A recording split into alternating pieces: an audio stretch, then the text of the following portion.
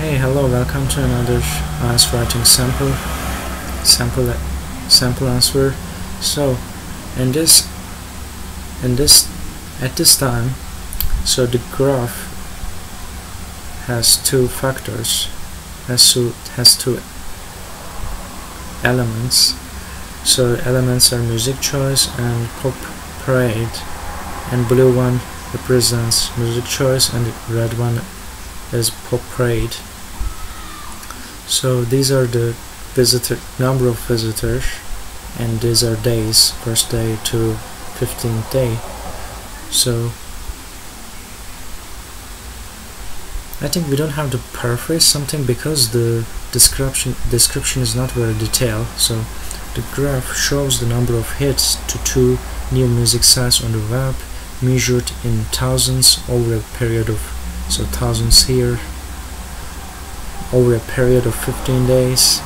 As far as music choice is concerned, the number of visits to the site fluctuated between 20,000 and 40,000 in the first 11 days. Let's see. First 11 days, 20, 40. Okay. So it is it is it is an important uh, to not uh, in the first 11 days except for day 3 except for day 3 if you forget to write except for day 3 I think we will lose we will lose a half score. I don't know. No one knows that I think.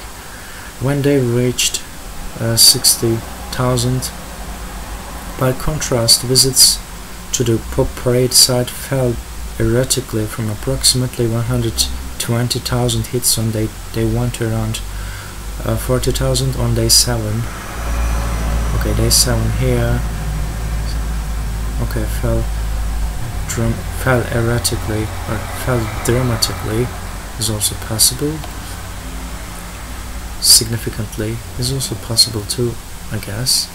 Between day days 11 and 15 visits to music choice fluctuated dramatically hitting a peak of over 120,000 on day 14 okay on day 14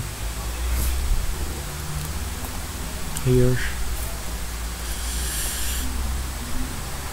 Despite a drop to less than 40,000 hits Pop Parade saw a huge increase in the number of hits between days 9 and 11 between days 9 and 11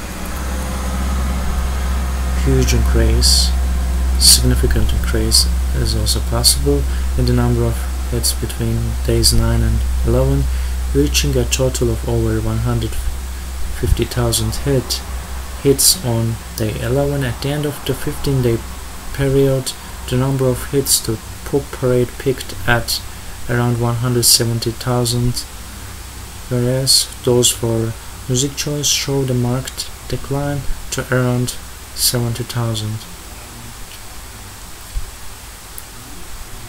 music choice. So as you see at the end of the period music choice and and marked decline to around 70,000 so